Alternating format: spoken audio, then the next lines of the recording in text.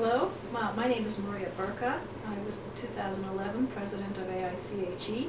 I'm here with Cheryl Teich, who is the incoming president. She's the president-elect. And I'm here to talk to her about what her plans are and uh, where she thinks her so-called administration will take AICHE. So Cheryl? Thanks, Maria. I'm very excited to take take on this role. Is this uh, this is somewhat of a, it's a challenge. It's a um, a stretch role. It, it's a an interesting time of my career for me. I think I've benefited so much from my AICHE involvement in, in developing leadership skills and hopefully time management skills that I'll be able to uh, succeed in both my day job and as president of the AICHE. Um, I think this is actually a really good time for women. Um, I'm with the National Science Foundation, and uh, chemical engineering is actually an excellent profession for. Uh, the women, number of women in chemical engineering is, is has held uh, at a pretty large number, and um, many of the ChemE departments in this country actually have more women than men, which is not the case for the other engineering disciplines. I don't know if you find that in industry as well.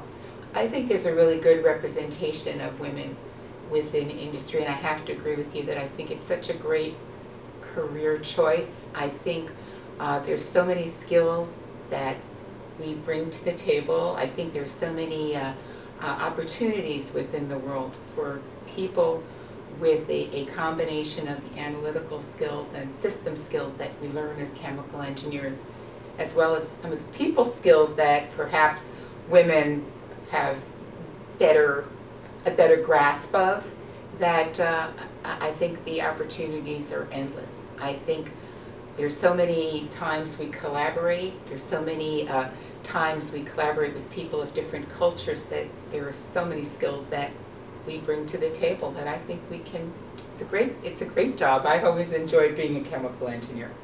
I think it's also particularly nice to be a chemical engineer in America, where women do have these great opportunities and as AICHE gets more international, which was sort of one of my pet things, I think it's nice to see the U.S. kind of being a little bit of a leader in other countries where I see more and more women uh, when I go to meetings all over the world. I don't know if you find that in industry when, you know, chemical engineering is really a global profession. I mean, chemical engineering companies are all over the world, and it's nice to see more women. Absolutely, and, and I have to tell you, um, and, and, it's, it's, it's interesting because it's something you said to me a, a couple of years ago that I, at the time I don't know how seriously I took it and I've taken it to heart since about being a role model. And the truth is, is I have been working in, in as a chemical engineer for a little over 30 years, which is somewhat scary to think about. And I think um, uh, people and, and young women respect that and they do see that as a role model. And I know you told me that a couple of years ago and I kind of pushed back because we do have, we do, we do operate in different spheres. Um, but I've noticed that and I've, uh, I think I've found a voice in that. I've noticed that people respond to that, that uh, younger people, women as, as well as, as, as men, respect the fact that we are people who have um, taken a leadership pos position in the profession and they are looking to us for guidance and, and, and for input and they may not always listen but I think they appreciate the fact that we're around and that we have a, a some experience and we're willing to share it. I, I think that's that's really true and uh, as we try to encourage STEM education I think it's important to, to have an image of women engineers as, as you know, very uh, interesting, uh, women with interesting careers who are normal, who are not the, the sort of the Dilbert uh, engineer that we see in the paper.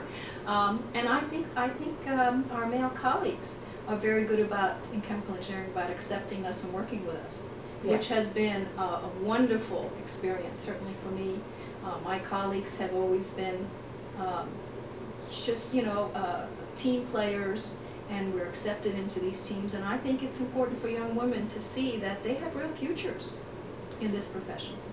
I, I will tell you that um, I did a lot of scale-up experience early in my career, and I was working with plant operators. And um, I have to tell you that my, my key learning on that was to treat everybody I worked with with all due respect. And uh, believe me, I, I was raised that way, so it wasn't exactly a, a, uh, a new learning for me. But I always felt I was um, accepted within even the operating floor as long as I listened to the operators and, and allowed them to tell me what they thought and didn't try to act arbitrarily in, in any way. And I think that's a, an experience that really has held me in good stead. I think um, the idea of listening to people is really important. And I think it's critical, as you say, as we move into uh, uh, a lot of team exercises, or rather team, team situations, as well as international situations where culturally there are different standards. I think the importance of listening is, is, is key. So what, what do you think, um, what is your, what are your plans for AICHE for the coming year? Well, I keep making a joke about with me that it's all about the basics. So, uh, but it's, it's, to me, there, there are various things I want to accomplish that uh, fall under the umbrella really of, of establishing continuity, ensuring the continuity for the Institute as well as the profession. So I'm very interested in the uh, AICHE Academy as providing um, training that I think is, is important, practical training for people, for young people as they transition from, from school into industry. I'm, I'm very interested in the question of uh, ensuring that our undergraduate education is firmly based in the basics. So we give our, our students the best possible preparation for whatever career path they take. And I'm also interested in this additional question of leadership development, which is one of the new parts of the strategic plan, because we need to, uh, we, have always heard people talk about needing those skills.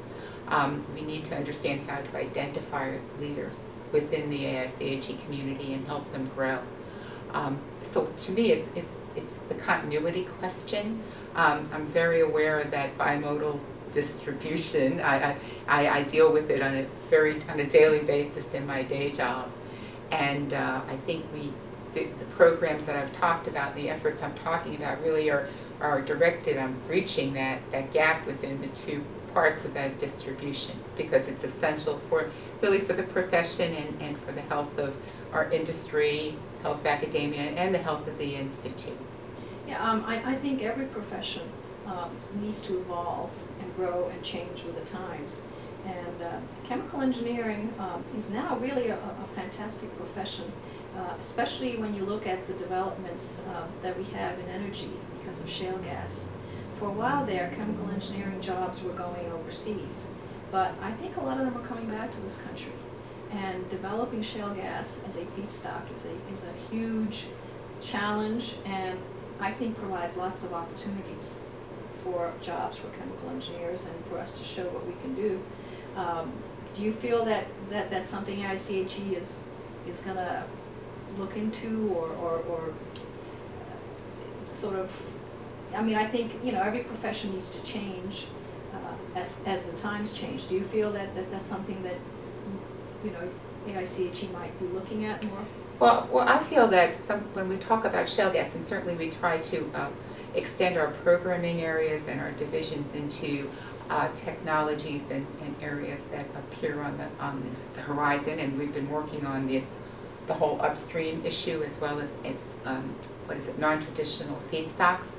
I also think that chemical engineering really is the is the uh, the bedrock of anything anybody is going to want to do in, in, in shale or any other non-traditional um, feedstock. That the skills we bring to the table really are the basics for it. It's all thermodynamics, it's mass and energy balances. And I've been dealing with process work for my entire career. So I think with me, I see the existing patterns. So I, I don't know, I think it's an extension to another new and exciting part of what's going on there. I think the skills that we have in our basic fundamentals are really what's going to support the development. I agree with you. I think we're, we're in an ideal Absolutely. situation, and I think it's a very exciting time to be a chemical engineer. I think so. Every time I talk to the students, I say you are you are entering the profession at such a wonderful time. Right. So and go do your homework. um, well, I think uh, it's been wonderful. anything else you'd like to add for our young people before we say goodbye? Well, any, I just say that I'm really excited about having this opportunity because I feel like I'm on the, um, the shoulders and the shoes of many great people and, and certainly you're way on top of the list. So I want to encourage people to, uh, to get involved. If I had one thing to say that, uh, if I had to do it over again, I, I always say I was a late bloomer when it came to activities in the AICHEs. And I know how much I've grown. I, I know that. And uh, so I would encourage people to, to get involved early. I think it's, it be, especially, it's so exciting right now, there's so much activity that I would say do, do it now in, in whatever way you think you would like to get involved. I, I agree, um, and I, I'm very excited that uh, you're going to be the president next year. Uh, It was a lot of fun for me. Uh, I, uh, I was very lucky. I had a predecessor, Dianne Dorland, who was the first female president of AICHE, and, and she really led the way for us. And, uh, and I think we're both very lucky to have this great opportunity to, uh, to do our, our best for the profession. I agree with you completely. So, thank you very much.